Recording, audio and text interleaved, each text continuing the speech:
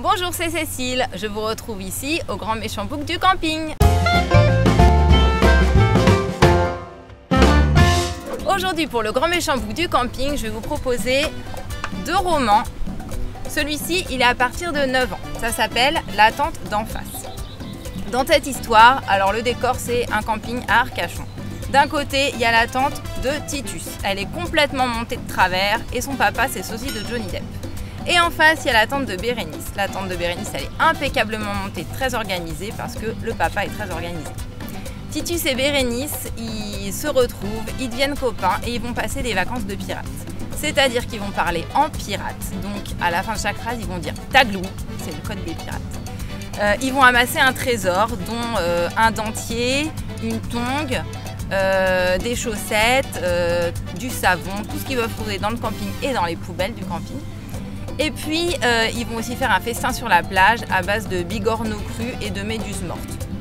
Donc, ils vont vraiment passer des vacances folles euh, avec euh, vraiment plein de beaux moments d'amitié et beaucoup d'humour.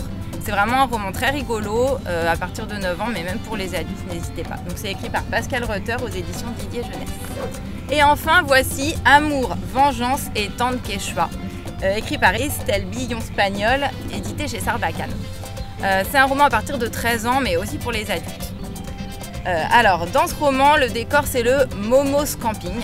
Euh, camping dans lequel Tara va tous les étés avec sa famille. Elle plante sa tente quechua devant le mobilhome familial et c'est parti pour des vacances de rêve. sauf que cette année, Tara retrouve Adam, qu'elle retrouve à tous les étés. Vraiment, c'est son ami de vacances. Mais là, Adam, pendant l'année, est devenu The Beau Gosse. Donc Tara ne sait plus quoi dire, ne sait plus comment se comporter avec son ami de toujours parce qu'il est devenu trop beau et elle ne sait plus quoi faire. Et entre ces deux-là arrive une fille qui s'appelle Eva, qui est belle, qui est blonde, qui est belge, que Tara appelle la frite.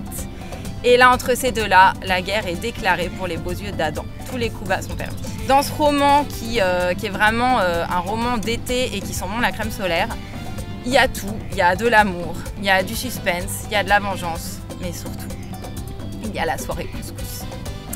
Voilà, donc vraiment un roman à lire l'été, les doigts de pied en éventail et vraiment c'est un super bon moment. Voilà, c'est tout pour aujourd'hui. Je vous dis à bientôt pour un nouveau numéro du Grand Méchant Book.